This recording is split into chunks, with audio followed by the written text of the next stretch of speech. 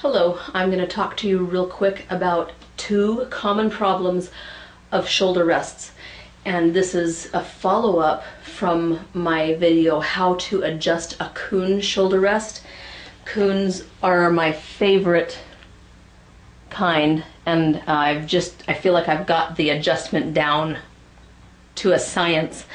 But there are still problems. The Kun doesn't work for everybody, but it's a good place to start because it works for a lot of people. The people it tends not to work for are people with really short necks or really square, broad shoulders. That's not a rule, but it that's kind of the pattern I've spotted. But this video, it doesn't matter whether you're using a Kun or a different shoulder rest.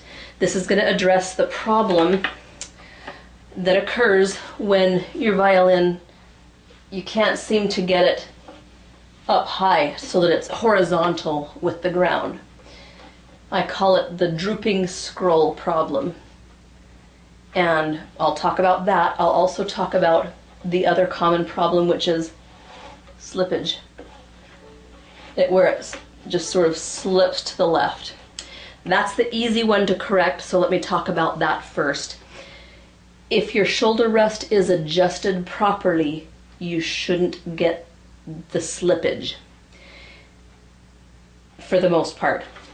So make sure that the, the groove of the shoulder rest sits on your shoulder and that this little part right here hooks over and holds on. And some shoulder rests have really good hooks. Like the Bon Musica has a hook that goes right over your shoulder and you can bend it however you want it. That's the Bon Musica. Um, but enough about hooks. So make sure your hook is working for you and that your shoulder is in the groove so that the shoulder rest can seat properly. Make sure that the swivel function, if you have a swivel make sure it's swiveled that direction like this. Not not like that. This will cause it to sit on your shoulder very well.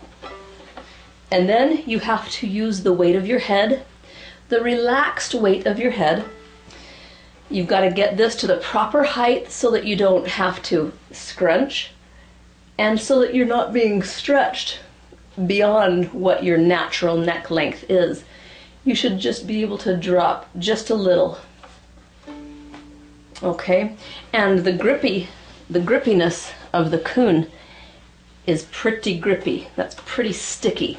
But if that's not enough, you can put a scrunchy hair tie, women's, you know, those women's ponytail scrunchies and get the fluffy kind that are scrunchy and tie it around here and that'll give a really good grip to prevent slippage there.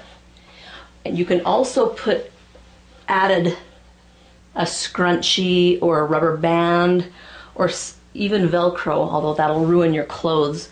I've seen some people who put Velcro there, um, and that prevents slippage off your shoulder.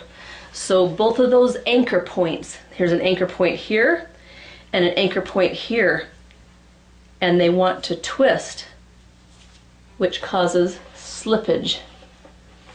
And if you can get those two points anchored, you're, you're not gonna have slippage. Just show you how I had to rig up my Mach 1 because there's rubber bands and a piece of cork. Because this is slippery wood, it has no grip. But that little grippiness from the rubber and the cork is all I needed to anchor my shoulder rest. Okay, let's talk about the other problem. And I think it's the harder one to fix, but if you understand a couple concepts, you can fix it. First of all, it's hugely important that you have the right chin rest. That's a topic for a whole nother video. But the chin rest has to have the right shape for your jaw, has to be the right height and the right placement. They have shoulder rests that sit here, shoulder rests that sit over the middle. I tried out probably 50 before I found this one. It's a Stuber. I love it because it has that little exit place for my jaw. That's right where my jawbone wants to come out. And so I don't get the violin hickey. Sometimes I want one because I want to have that red badge of honor, but better not to have the pain. This is called a Stuber.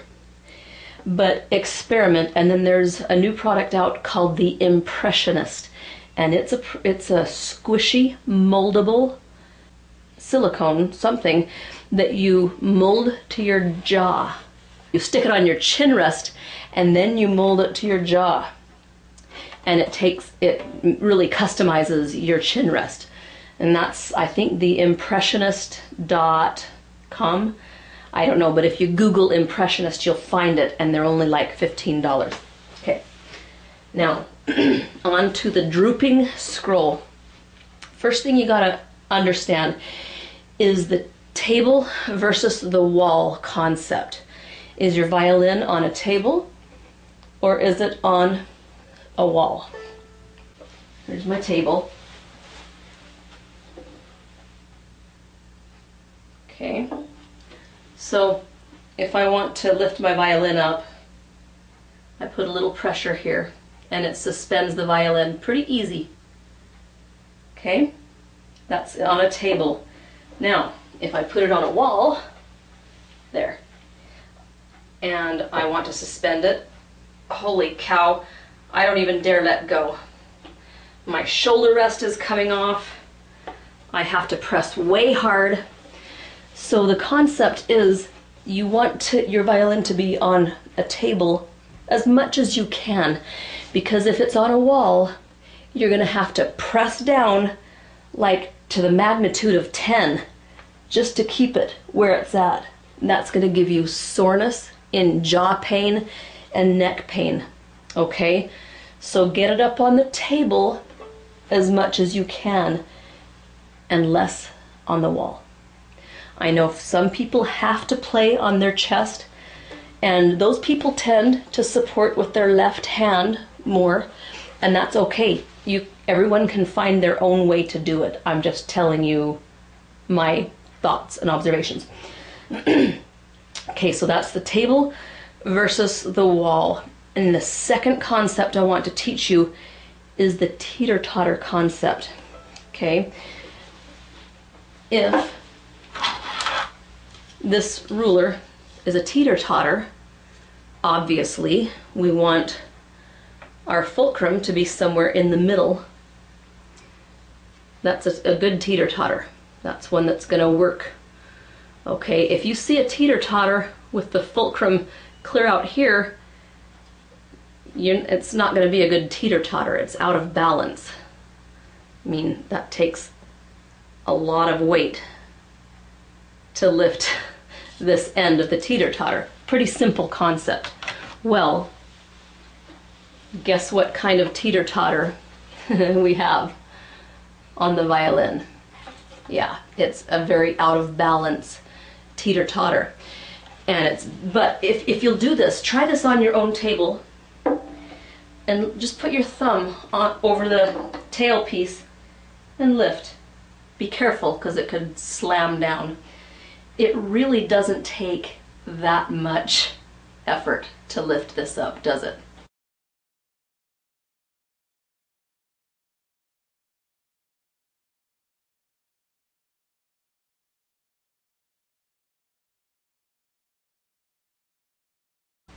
You can do this for an hour and not feel tired. So it's kind of in our all in our mind as far as the balance issue. But for that little bit of balance that is required, your relaxed head weight is all you need.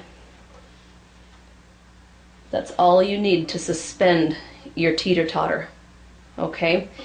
And keep make sure that your fulcrum, your shoulder rest, is anchored and that it's um, seated really well on your shoulder and play around with the fulcrum. Play around with that and see if you can find a really good balance place that takes very little weight. Okay? And then, of course, if you turn your head a little bit, not a lot, but a little, and then let your head rest. Shouldn't be a lot. Literally, I'm like this, and this is normal. Okay? It's even less with my other violin. This is my fiddle, and I don't like this chin rest because I can't relax as much with it. Okay, so just keep that in mind. Table versus wall and the fulcrum, and it's really an illusion. It's not that much weight. You're not holding that much weight up, but it is out of balance, and that's where this is critical. And also learning to hook the chin rest on your jaw. And that's why I like my Stuber chin rest because I can hook on, but it doesn't gouge my chin, my jaw. All right. So there's some visual concepts for you. The rest is up to you to experiment, but remember there's two parts to this. The shoulder rest and getting it adjusted right and adding extra anchors if needed. and two, your chin rest. They're equal partners. I, if I had to start with one, I'd start with the shoulder rest. That gets you in the right zip code. Then you got to find the right address, and that's from trying out uh, chin rests. Okay, good luck, and I'll see you in the next video.